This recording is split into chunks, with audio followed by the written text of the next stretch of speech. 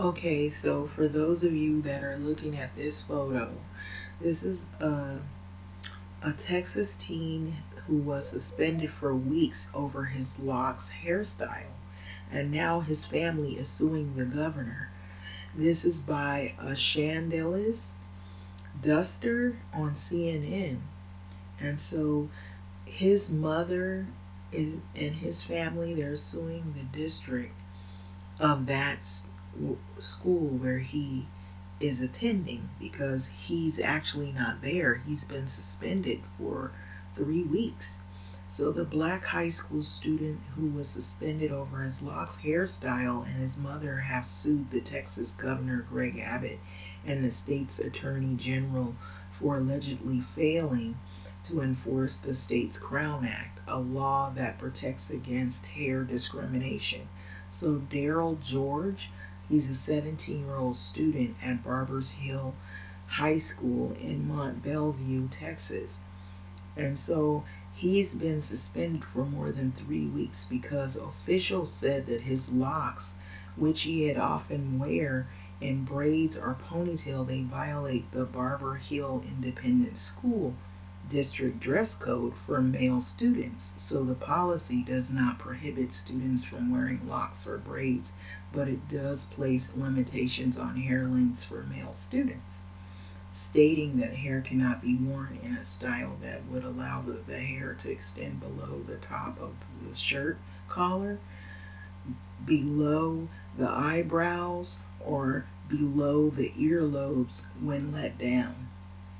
So basically, they want the boys' hairs to be short and cropped. It can't go below the eyebrows and the earlobes, and it can't extend below the shirt collar. But with locks and braids, depending on the lengths, if it's longer hair, it may extend below that. But in this picture here, his hair is tied up and I believe he wears his hair tied up a lot while he's attending the school, but lately they want him to cut his hair.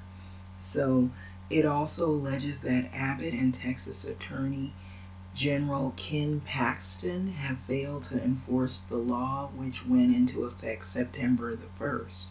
So the lawsuit notes that the plaintiffs are seeking an injunction against Abbott and Paxton to compel them to stop the district from exposing their student to disciplinary punishment and just disciplinary measures due to their locks, braids, twists, and other protective hairstyles that are alleged to be that are longer than the district's or school's length requirement. And so CNN has reached out to Abbott and Paxton's office for comment on the lawsuit as well as the attorneys for Barber Hills Independent School District. The filing comes days after the district asked a Texas court to clarify if its dress code violates the Crown Act. Although we believe the new law does not govern hair length, we are asking the judicial system of Texas to interpret Barber Hills Superintendent Greg Pools said in a statement on Wednesday. George, his family has previously said they were told Darryl will be sent to a disciplinary alternative education program, also known as an alternative school, if he refuses to cut his hair. So the family, they told CNN his locks are intertwined with strands. Now listen, the strands are intertwined from his grandfather and his father, and they do not intend on cutting him off. So it's a cultural thing. So it isn't just a hairstyle alone or something cool to wear. It is a cultural thing eh, in the African American culture. And so Darryl George, he's 17 years old. He's a junior and he walks to Barber Hill High School on Mondays. So this is not the first time that Barber Hill Independent School District has faced legal action over the impact of its hair policy that it had on black students with locks.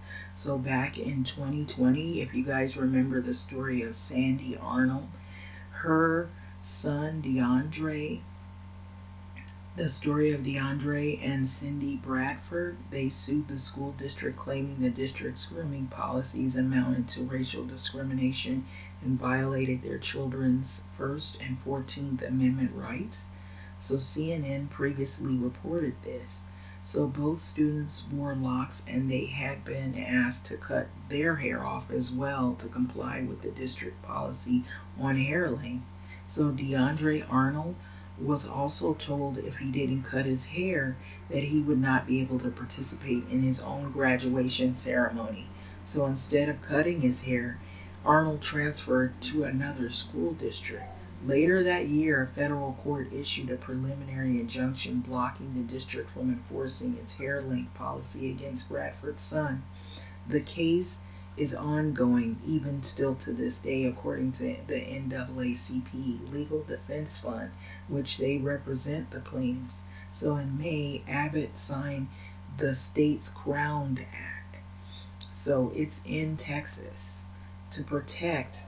Arnold told CNN affiliate KTRC or KTRK at the time that the law passage was the most validating feeling. So that law is there to protect people of color, people of African descent with the cultural hairstyles and protective hairstyles like braids, locks, and and and whatnot that you see.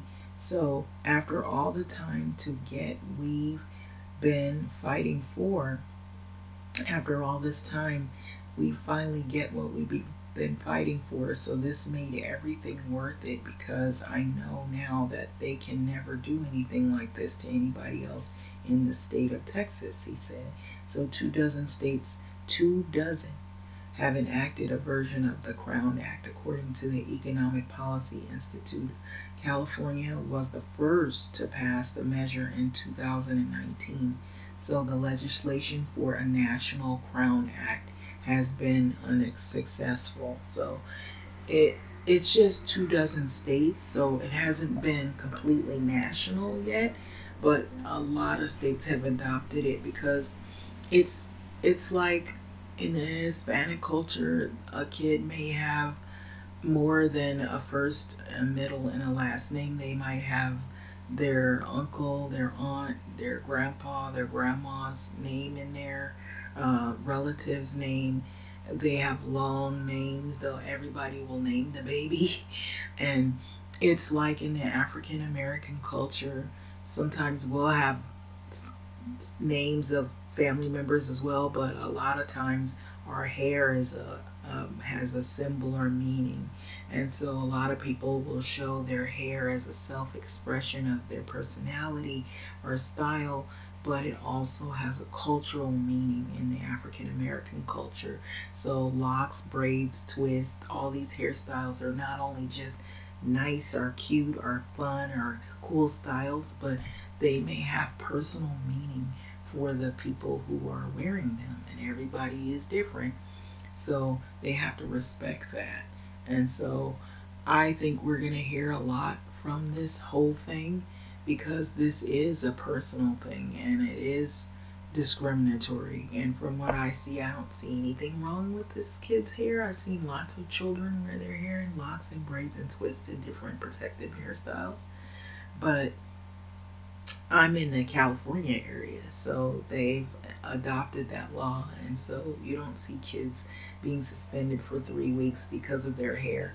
I would think they'd be more concerned about an active shooter and coming in the school, or kids coming to school with weapons, or maybe uh, kids that are coming from abused homes, or they're in the presence of somebody that might be an abuser of children or something like they might be more concerned about other issues that are more important than how somebody's wearing their hair we don't like the, the length of it or the style of it and it's almost what it's saying is is you have a problem with black people's hair or african people's hair how they wear it and you don't want them wearing their hair like how they normally wear or feel comfortable wearing.